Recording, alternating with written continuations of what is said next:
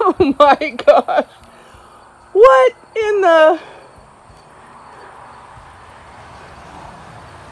Is that a 40 foot pipe or are you just happy to see me? Stop filming and come help me.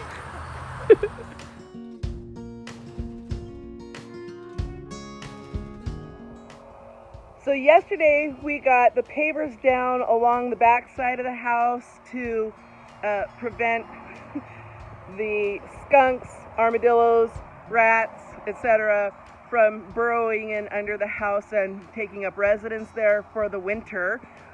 Uh, but we got to get all the way around the house. So this morning we are working on this little alcove which if you watched any of our previous videos, this is the corner of the Garden of Death. we ripped out a whole bunch of stuff here, including bones. We still get bones coming up to the surface. They just keep working their way up out of the ground. It's really kind of disturbing. anyway, um, we're not working on that part, but we are going to put pavers along this side. We already did right here earlier this spring when we worked on this cover for the crawl space, we actually put pavers in here, which is what gave us the idea for this whole thing to begin with. So we're gonna finish this out along this uh, whole section here.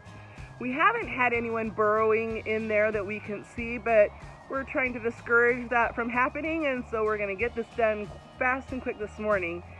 It's a beautiful fall morning. It's misty and no sun. It's perfect working conditions, so we're gonna get to work. So when we replaced this cover here and made this new cover for airflow under the house, we put in these pavers right here and that's worked really great. So we are going to do this same thing along here. This is the disgusting area we have to work with, all kinds of debris and more rocks to pull away from the house, but it is definitely going to help us uh, clean up this area. Well, everything always takes longer than you think it's going to. So we're an hour in and it's looking good, but all we've done is raked and picked up all the crap that's been in the yard in this area, which is, includes a lot of garbage and pottery and bones.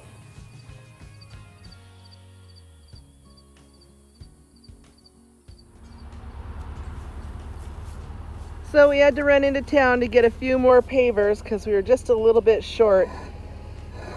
So Mark's doing a good job while I just sit here and do video. This is a very good job for me.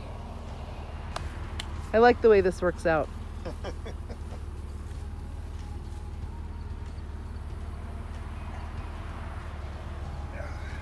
Good job, sweetie.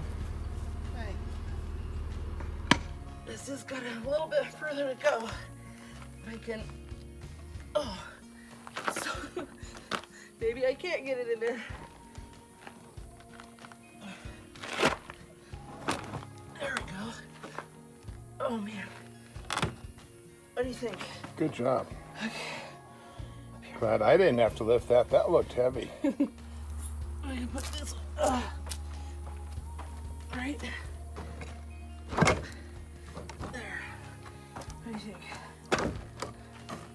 That'll do it, right? Fabulous.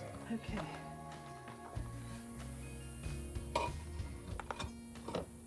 Perfect fit. It says, if you planned it. it's called math, my friend. well, took us a lot longer to get this done than we thought. I mean, this is a very short space, but we actually ended up with a lot of work to do. So I don't know if you remember in this corner, there was some really ugly rocks and concrete. We pulled all that out and we were able to salvage this big piece to really block the holes in this corner. So that looks much better. And we managed to get all the ground graded and pretty much level. Um, it goes up a little bit here. The whole house is on a slight hill.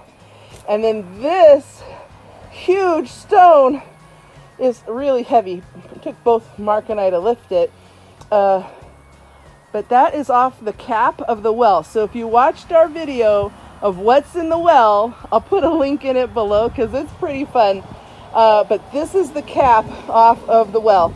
And that makes a perfect fit for that corner to keep uh, varmint out of the hole that was right there where that big long pipe came out of. So that works out great. And then all this paper, and since there's a grade, we've got a step down right there, but that works out okay. So overall, I think it's good.